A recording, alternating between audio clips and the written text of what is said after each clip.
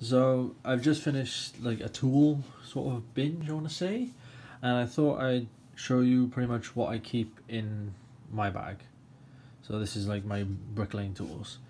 So first up, on the side, we got a tape measure here, a pair of gloves here, and two other tape measures here. These two are like they're just ruined.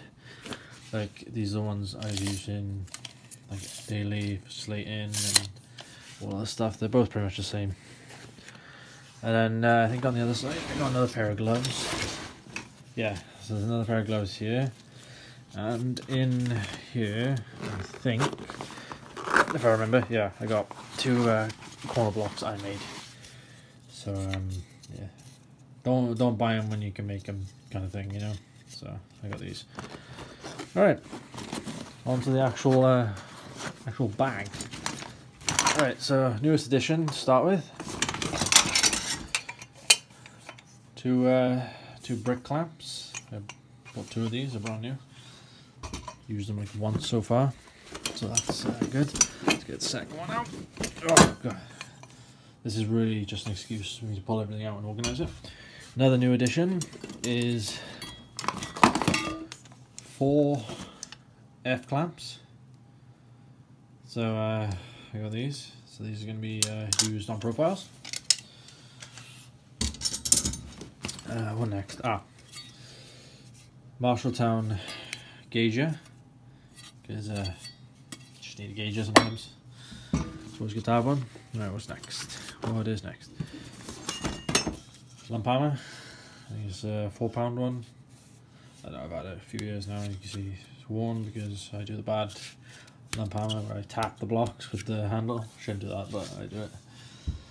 Uh, Silverline uh, 4 inch bolster chisel. Because, uh, you know, you need a bolster as well as your hammer. Let's see. Ah, Silverline folding, folding square. So, what are these ones? See? So it just folds out into into a big square. Always need a square. I got another one, but I've left that in the van. Uh, rough brush just for cleaning out wherever. You know, it's just I got it for well, as you can see, a broom broke, so I just like oh, I'll have that kind of thing. Uh, some Feb because you never know when you're gonna need it. Just keep it handy. Rubber mallet for uh, slabbing uh, or like copings or anything delicate work you need to do. Uh, what else we got? Marshalltown pink nylon line, brand new.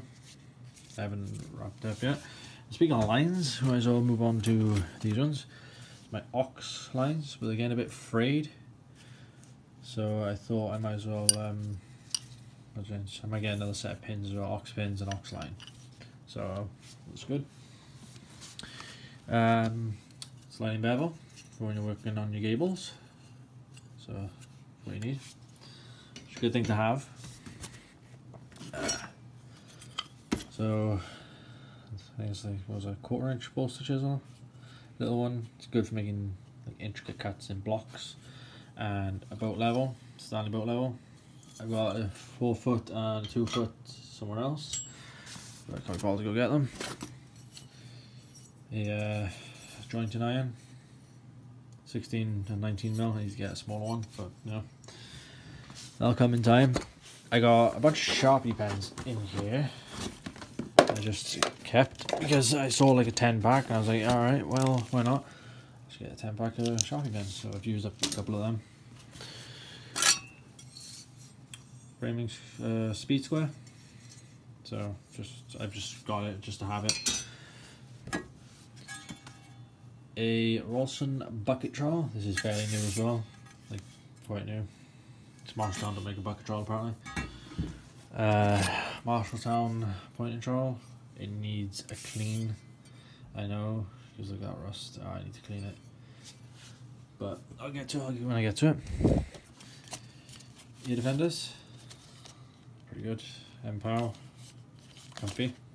Gotta have them because I got the Evolution disc cutter. WD-40 to clean, well, pretty much clean the tools, but I haven't done that on my point trowel in a while.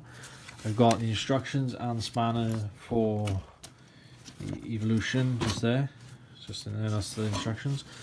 I've got neodymium magnets because you can hook them onto the end of your tape and if you say any drop your trowel or whatever in, pick them up. Uh, they're always handy. Another set of corner blocks that I made. I had a chop saw, I was like, alright, make some corner blocks. So, yeah. They were, I think they were 4x2. Yeah, they were 4x2. There we go, another set of corner blocks. Uh, pointer. So, yeah. Marshalltown again. I'm a, fanboy if I am one. And lying on a piece of batten. Because if you haven't done this, I don't think you're a builder, to be honest. And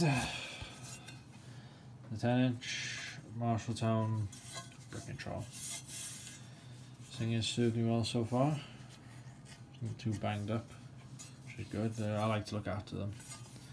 I've got like a little nick or anything in the handle. It's good. I like to look after the trowel. The trowel is the main thing. So yeah, this is what I I prefer.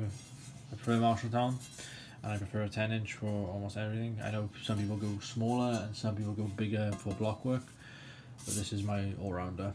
But yeah, um, hope you enjoyed the video. And it's just a Stanley tool bag. I can't remember where it come from, but you know, it's one of those.